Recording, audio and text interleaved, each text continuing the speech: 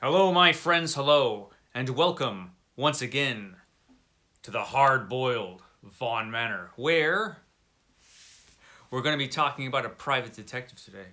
We're going to be talking about The Continental Op by Dashiell Hammett. This is the first great detective character created by Dashiell Hammett, legendary hard boiled writer of detective fiction. Dashiell Hammett, who wrote The Maltese Falcon, The Glass Key, and some other great books, created the Continental Op. An operative of the Continental Detective Agency, this character first appeared in the early 20s in the magazine Black Mask in a series of tough short stories. Hard-boiled short stories of detective fiction, the Continental Op. So we don't know much about the Continental Op other than he's an operative with the Continental Detective Agency. We know he's kind of short, we know he's kind of fat, and we know he's really, really tough. This guy is a hard-boiled, tough character who's seen it all and is Dashiell Hammett's idea of a great hard-boiled detective, at least when he started his, his career, his writing career. Dashiell Hammett put a lot of himself into this character because Dashiell Hammett spent a few years in the Pinkerton Detective Agency. So Dashiell Hammett was an actual detective. So he knew what he was talking about and was able to put a lot of his own experiences into this fiction that he wrote about the Continental Op. In this series of short stories and a couple novels that he wrote about the Continental Op. So this month, if you are not aware, is Dictember. That's right. This month has been renamed. And Dictember is a reading event created by Market Book Time with Elvis and Shawn D. Standfast. And they are being joined by Steve Donoghue and myself. And all month long, we're going to be reading detective fiction. And I did a whole video about it that I'm now going to completely destroy because I changed my mind about what I wanted to do with Dictember. This month devoted to detective fiction. So this month, unlike a lot of reading events, doesn't have different themes every week, at least not that I'm aware of. You can pretty much read what you want, which frees me up a great deal.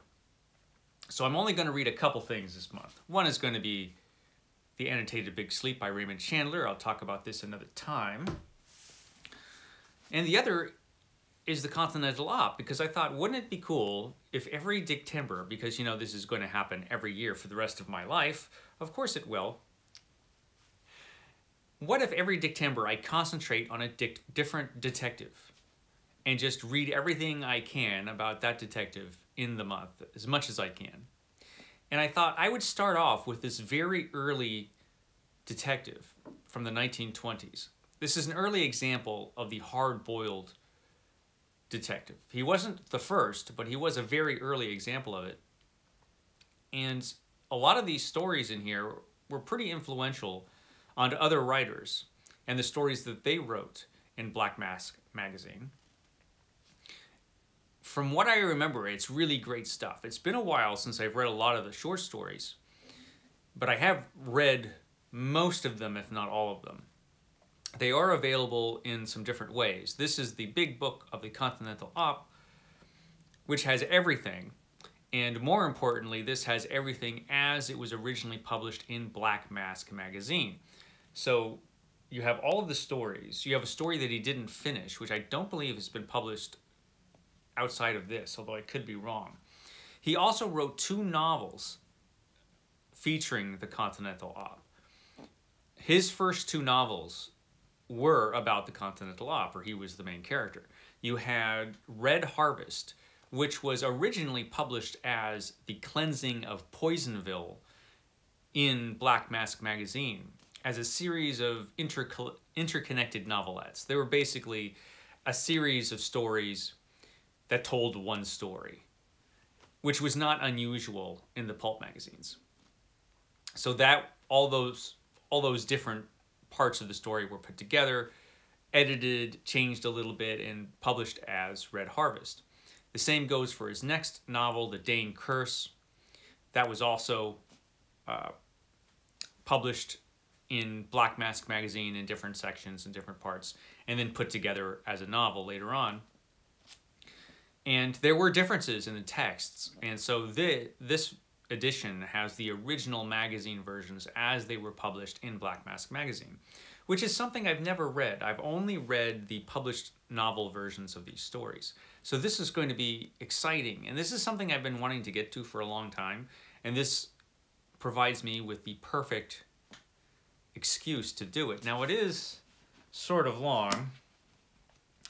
It's over 700 pages long, but it's all double columned. So there's there's a lot of there's a lot of text in here. It's a lot it's it's a lot to get through, but I think I can manage it. And like I said, I look forward to it. This like I said, these stories were originally published in different paperbacks and I, they're still published as different uh, paperbacks, paperback collections of short stories. And the Library of America edition of Dashiell Hammett has a lot of these stories. Doesn't have all of them, I don't believe, but it has a lot of them. But this has everything. So this is going to be exciting. And the Continental Op was, like I said, he was an influential character, and he was a character that changed over the course of Dashiell Hammett's writing this character. He, he like he, he wrote quite a few stories of this character, culminating in these two novels. Originally, we knew nothing at all about the Continental Op other than he was just this tough little detective guy. But eventually, you get to these last couple novels, you don't learn a ton about the Continental Op's past but you learn a lot about what kind of guy he is. And he gets himself in some dangerous situations. And he, he always does. This is something that hard-boiled detectives do. You know, they tend to get, you know, kidnapped, knocked out, shot at, shot. You know, many terrible things happen to private detectives on their cases. And yeah, definitely so for the Continental Op. He has a rough time particularly in Red Harvest, from what I remember. And so he, he goes through it, this guy, and we learn a lot about what type of person he is. And I wonder how much Dashiell Hammett put of himself into this character, and also what he thought a, a tough detective character should be. What a lot of private detectives apparently wanted to be, according to Dashiell Hammett. And I think by the time he got to the two novels, he was ready to move on to something more challenging. He was ready to say more with his fiction than he had up to this point.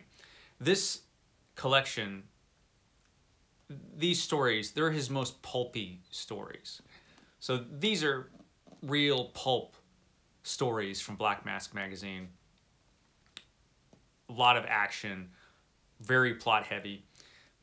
But he did change. His writing did change quite a bit right around the time that he started writing the first his first two novels, the two novels in this collection. And then he he moved on and started to say some different things in his fiction. But the stuff in here for most of it is just real hard-boiled tough guy pulp stuff. If you if you're a fan of detective fiction, definitely this is something you should check out. You should read the Continental Op stories if if you're interested in detective or mystery fiction at all, if only for their historical value, but definitely for their entertainment value because these are some entertaining stories which I'm looking which I look forward to revisiting. So, yeah, the Continental Op. You should check it out. Okay, guys, I will see you next time.